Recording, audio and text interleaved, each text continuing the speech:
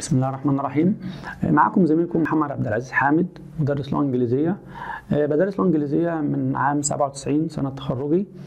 حاليا ربنا كرمني وحصلت على master in education تخصص curriculum and instruction من منصورة university وحاليا في السنة دي بشتغل ك PhD researcher باحث دكتوراه في تربية الزقازيق اهتماماتي الأولى وهواياتي بتنصب في المجال الأول كل ما يمت للغة الإنجليزية بصله طبعا في البداية listening comprehension ده شيء أساسي عشان أكون مدرس إنجليزي ناجح. بستمع يوميا إلى حاجتين اثنين عشان أكون صريح معكم. أستمع للقرآن الكريم و English language في ال English language أستمع حاجات كتيرة إذا كانت films إذا كانت plays إذا كانت videos YouTube and so on كل ده مطلوب عشان أكون مدرس ناجح. لكن في هوايات أخرى في الحياة العامة اللي أنا بعيشها من ضمن هواياتي إن أنا كنت رنار عداء سايكلست هواية غريبة كده بعملها من فترة طويلة إن أنا بطلع على سطح بيتنا واقعد أتفرج على النجوم في آخر النهار بتفرج على الطيور الطيور المهاجرة والطيور في البيئة المصرية بتاعتنا عشان أصفي ذهني ويكون دماغي رايق علشان أقدر أشتغل دايما. أقدر أجيد في الفصل وأتعامل مع الطلبة ومشاكلهم ومواقفهم. أقدر إن أنا أكون positive إيجابي مع الإدارة بتاعتي. ليا دور في طابور الصباح ليا activities بعملها مع الطلبة. دور كبير ودور أساسي في حياتي كمدرس إن أنا أشارك في حل مشاكل الطلبة بتوعي وأتكلم معاهم أتواصل معاهم. يكون في بيني وبينهم جزء من الود والحب والتعاطف دايما مع وجود مساحة طبعا من الاحترام والأدب. بالنسبة لعملي كمدرس لغه انجليزيه أكتر شيء فادني في حياتي من أول ما كنت في تانية إعدادي. قاموس إلياس للجيب ده اللي غير حياتي. ده أنا بقول خبرة حقيقية. لكل مدرس عاوز يحترف يكون شاطر في ال English language teaching أو هو عاوز حتى ينمي أولاده. أنا بدأت بالقاموس. فكان القاموس ده يعني هشبهه أشبه ما يكون مع الفارق طبعا بالمصحف. اللي بيحفظ القرآن الكريم دايما عينه في المصحف سواء بيسمع غيره أو بيقرأ كانت عيني دايما في الايه English dictionary علشان أعيش مع اللغة وده اللي شطرني. والحمد لله. تاني حاجة إن أنا دايما أستمع إلى هقول زي ما بنتكلم كده American or British accent بلاش الهندي.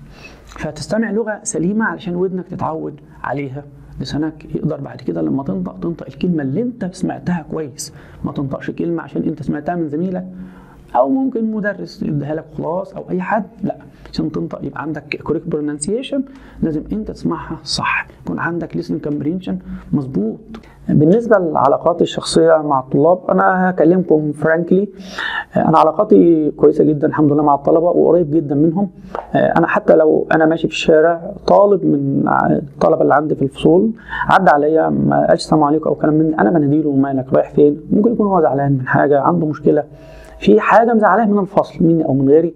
فبدردش معاه بتكلم معاه. دايما يقابلني يقول لي السلام عليكم. أنا أقول له السلام عليكم عشان هو ده نوع من التواصل بيني وبين الطالب وبين أهله لأن يعني ده حقه عليا. في يوم من الأيام ممكن يكون مدرس أو دكتور أو مهندس عشان حتى نعلمه عملية التواصل الاجتماعي اللي هو ال oral communication skills مهارات التواصل الاجتماعي مع مع الناس مع مدرسينه مع زملائه يعرفها يتعلمها يكون له دور فعال في المجتمع. في يوم من الأيام يتعرض لمشكلة ممكن يكون هو بيحلها. أو يساعد في حلها أو بيقف في طابور الصباح زي كمعلم بيتكلم في الطابور بيوجه الطلبة. في طالب هناك بيشاغب في نهاية الصف. أنا بنادي عليه باسمه بنبهه. ممكن أقول له كلمة بس مش كلمة شديدة كلمة مثلا زي ما بنسمع كده المدرسين بيشتموا. لا ممكن أقول له خد بالك أنت واقف نايم أنت مش مصحصح أنت غير ملتزم. بلهجة حادة. بلهجة شديده تنبهه ممكن ياخد باله بحيث إن أنا أكمل الطابور بتاعي وأبقى كويس معاهم. بالنسبة للعلاقات كذلك مع الطلبة إحنا لنا من ضمن أدوار المدرس ك teacher in in school اللي هو contribution in solving students problems إن أنا أكون مشارك في حل مشكلات الطلبة. لا لا يكفي إن أنا أقف على السبورة وأشرح وأحضر الدرس بتاعي وأعمل correction في ال notebooks لا ما ينفعش كده دوري ناقص اساعد في حل مشاكل الطالب ممكن الطالب ده قريبي أو جيراني أو معرفة أو هو نفسه عنده مشكلة شخصية أو عائلية أنا عارفها. فبالتالي بتنعكس على مستواه في الفصل سلوكياته مع زملائه آدابه أخلاقه في الفصل وفي الطابور وفي الطرقة فأنا عارف خلفيته. فبالتالي ببدأ أشارك في حل المشكلة وأخفف عنه مشاكله دي وألامه أو حتى يعني بنعمل له نوع من التسامح لأن هو عنده خلل disorder في الفترة دي بسبب مشكلة ما قد تكون عائلية. فبالتالي إحنا لازم نقف معاه ونساعده وده دور المعلم. فطبعا بيطلع في الإعلام أحيانا الناس بتتكلم عن المدرسين وبينتقدوا. أنا دايما أحب اللي ينتقد ينتقد يقول جزئين اتنين. يقول ال positive وال negative زي ما هتقول الإيجابي قول السلبي. قول الحلو قول الوحش. بس قول بأسلوب أسلوب نقد بناء عشان نتعلم منه ونبدأ نغير وناخده كأساس إن إحنا نبقى أفضل وأفضل. لكن اللي بيطلع بينتقد نقد لاذع بيعمل كاريكاتير بيعمل animation بيعمل سخرية من المدرسين في حين المدرسين فئة كبيرة جدا في المجتمع ومهضوم حقها في حاجات كتيرة. فيا ريت اللي ينتقدنا في الإعلام هقول له انتقد براحتك بس يا ريت زي ما تقول كويس قول مش كويس قول الحلو قول الوحش قول كل حاجة ما تقولش نقطة واحدة وتتغافل عن الباقي بحيث تطلعنا مدانين في الآخر. في مواقف كتير حقيقية بتأثر فينا حتى بعد انتهائها. في يوم قابلني طالب كان عندي في ثالثه ثانوي وبيحكي لي عن أول أسبوع له في الجامعة لما دخل قسم كلية تربية قسم إنجليزي. بيقول لي أنا قاعد في المدرج ومعايا ال dictionary بتاعي ففتحه عمال عمل checking for new words بيتصفح على كلمات جديدة خدها في المحاضرة مش عارفها. فلقى زمايله بيبصوا له بيقولوا له أنت بتعمل إيه؟ قال لهم أنا بتصفح كلمات وبكشف في ال dictionary بتاعي. فقالوا له هو أنت بتعرف في القاموس؟ فقال فاجئني السؤال هو أنت بتعرف تكشف في القاموس؟ قال لهم أيوه طبعا أنا بعرف أستخدم قاموس كويس. فبدأوا يسألوه طب أنت اتعلمت فين وإزاي؟ ده إحنا لسه في أول أسبوع في الدراسة يعني no professor taught us how to use a dictionary. فقال لهم لا ده أنا اتعلمتها when I was at secondary stage with my teacher. فلما جه بدأ يحكي لي والحمد لله كان يعني بيقول لي شكرا انت علمتني حاجة. قلت له لا هو مش علمتك حاجة لا هو حقك إن أنت تتعلم كده. لأن أنا كمدرس وما علمكش في ال dictionary how to use ال dictionary and utilize it يبقى أنا ما أديتش دوري بكفاءة ولا دور كامل. فده كان موقف حقيقي أنا عشته. وبناشد كل مدرس القاموس هو أساس اللغة. فعلم الطلبة إزاي how to use a dictionary in all their lessons. من أصعب المواقف اللي عدت عليا عدى عليا موقف صعب في بداية تعييني في أول سنة كنت شغال فيها uh, when I was explaining my lesson at the last class. آخر حصة كنت بدرس وكانوا الطلبة مني تقريبا تقريبا كده sleepy dizzy دماغهم تقلت مش قادرين يستوعبوا الدرس معايا. فأنا بدأت كان معايا إزازة مية بدأت أرش مية على الطلبة. وده موقف حقيقي. فجأة لقيت داخل معايا supervisor بيقول أنت بتعمل إيه؟ قلت له بفوق الطلبة. قال فوق الطلبة ترش عليهم مية. ما ينفعش. ده كده غلط. قلت له بس فاقهم. قال لي ما إحنا عايزين نفوق بس مش بالميه فاقوم بطريقة تانية. أنا كنت لسه جديد مش عارف إزاي أفوق الطلبة. فلقيته قال لي أقول له stand up sit down حركه من مكانه turn on the fan شغل له مروحة آه، كلمه دردش معاه آه، وجه سؤال صعب. يدعو للتفكير والتأمل وإن أنت تحرك جميع أفكاره. وممكن ما يوصلش الإجابة مش مشكلة بس أنت هتفوقه بطرق كتير. بس بلاش ترش مية. ده أول موقف. الموقف الثاني وأنا كنت بدرس فاشتغلت طول الحصة. بعد الحصة لقيت ال supervisor بتاعي ماشي معايا في الطرق. بيقول لي إيه؟ قال لي بال English قال لي you are burning yourself to do something. You will do some of it but you can't achieve anything. قلت له anything قال لي can't achieve much of you what do you want? فأنا استغربت جدا وبقول له why ليه أنت بتقول لي كده? أنت بتقول لي إن أنا مش هقدر أحقق حاجة رغم إن أنا شغال طول الحصة. قال لي you are burning yourself. أنت بتحرق نفسك. أنا مش عاوزك تخش الحصة من أول دقيقة لآخر دقيقة explaining and doing all the practices and instruction. لا. أنا عاوزك تشتغل بالظبط كده of the lesson. تلت الحصة أنت اللي تشتغل. وتو thirds the student practices? The student practices reads writes does activates anything الطالب يعمله.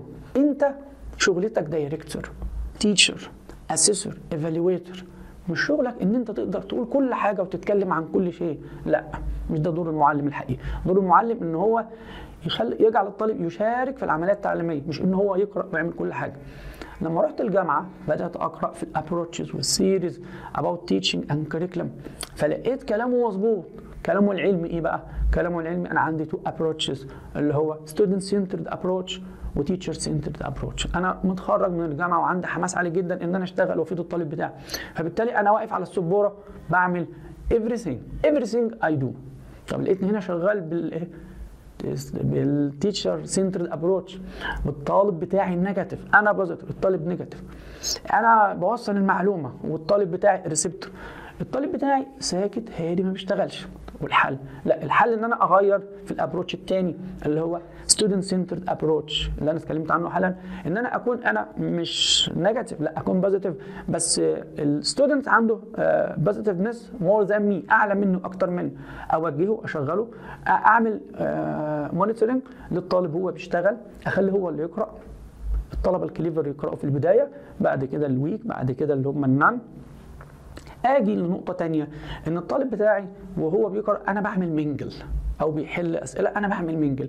mingle يعني لما بتكلم في mingle دايما هي استراتيجي خاصة بال classroom management هي أشبه بحركة النحله على الزهور. النحلة بتنتقل from flower to another flower to another one to get its nectar عشان تاخد الرحيق بتاعها وتلتمس العسل بعد كده في المستقبل فهي بتتنقل من إيه؟ flower to flower أنا كذلك بتنقل من desk ل desk عشان أوجه الطالب بتاعي. ممكن طالب ما بيحلش الأسئلة أنا أوجهه. طالب واقف عليه نقطة أساعده أو احل له حتى السؤال لكن أنا بعمل له push to do the practice and the exercise. فده كان كلام الموجه معناه كده. أنا فهمته بعد كده لكن كان كلامه حقيقي. فكل ما بزيد في الخبرة وعدد سنين الشغل ببدأ أشغل الطالب بتاعي أكتر فيقوم يستفيد من الحصة بتاعتي.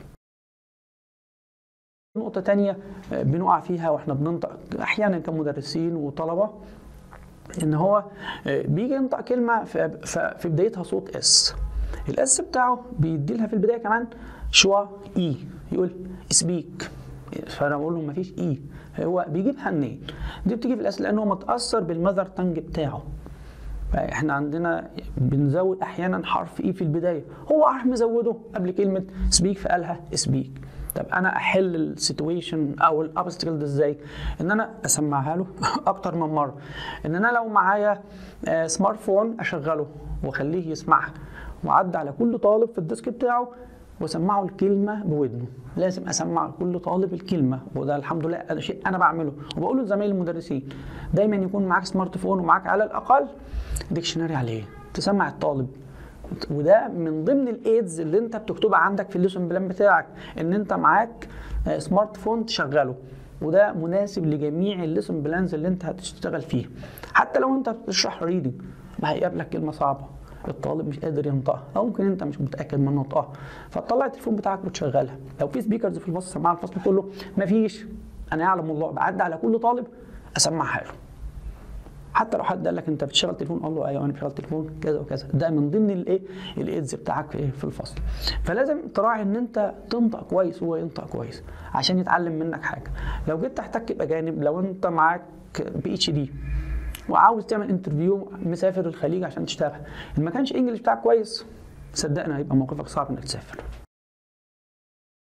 أنا بحب التدريس وفخور اني مدرس وبديله حقه الحمد لله لكن كنت أتمنى في يوم من الأيام أحقق أمنية والدي الله يرحمه. نصحني إن أنا ما أدخلش أدبي وأدخل علمي علشان أكون دكتور.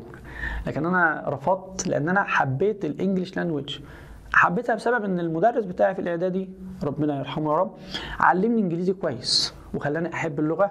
فبالتالي لما بدأت أحب اللغة بدأت أتجه في المجال ده وأدرسها وأتعلمها لغاية حاليا بعمل بي اتش دي فاللي خلاني أحب اللغة حاجات معينة كده أثرت في حياتي. من ضمنها المدرس بتاعي في الإعدادي كان بيشرح بإخلاص. فكل مدرس يشرح بإخلاص حتى يلاقي في يوم من الأيام طالب يدعي له. دي نقطة. نقطة ثانية لما خدت قاموس من بنت خالتي وتعلمت إزاي أعمل search واكتب كلمات جديدة وابحث. بدأت أسمع لغة. لما بسمع اللغة كنت وأنا صغير كلمة أفهمها و10 20 ما افهمها ده طبيعي. هقول لكل واحد بيسمع American movies بقول له اسمع ما تخافش. ومش شرط تفهم كل حاجة. حتى لو أنت بتدرس دكتوراه مش شرط إنك تفهم كل الكلمات الجديدة عليك. ولا تكون مستوعب كل لا مش ضروري. لأنك لما تيجي تحل هتحل بمهارات تانية خالص. مش بالضروره إنك فاهم كل الكلمات بعرفها. لأن الحصول على المعلومة والوصول لها في حد ذاته مهاره قد لا قد لا تكون لديك المعلومة لكن تعرف كيف تحصل على المعلومة. دي المهارة اللي أنا عاوزك تتعلم إزاي توصل للمعلومة؟ ومش شرط إنها تكون معاك في اللحظة دي بس تعمل حسابك. لما توصل المعلومة حافظ عليها ونميها إنها تزيد. فدايما الديكشنري بتاعك هو اللي هيقويك. واسمع لغة سليمة علشان تبقى أنت نطقك وشغلك كله سليم.